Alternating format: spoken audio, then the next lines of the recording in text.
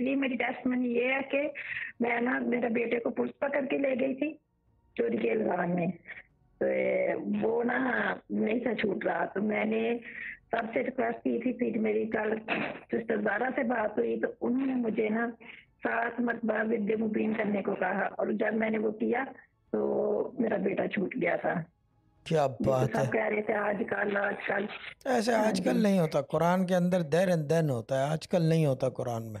कुरान में कुन फया कौन है देर एंड हाँ देन वो तो आजकल वाली स्टोरी नहीं है कुरान की। ये बड़े रम्ज वाली बात है हाँ समझ में तो आ जाए तो नुक्ता।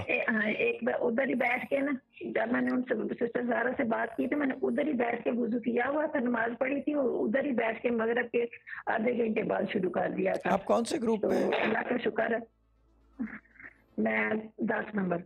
ठीक है ठीक है। आपके ऊपर मैं एक बात बता दूँ? विरद मुबीन खुली हुई है। जी।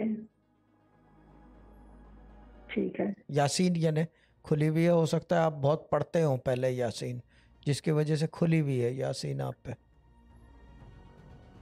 जी मैं मैं वाकई में बहुत पढ़ती हूँ हाँ वही तो ये खुली भी है यासीन वर्द मुबीन क्योंकि वो पता चल जाता है। मुझे यही इसी बात की यही इल्म है जानकारी का कि पता चल जाता है कि किस पे क्या खुला हुआ ठीक है गुड है।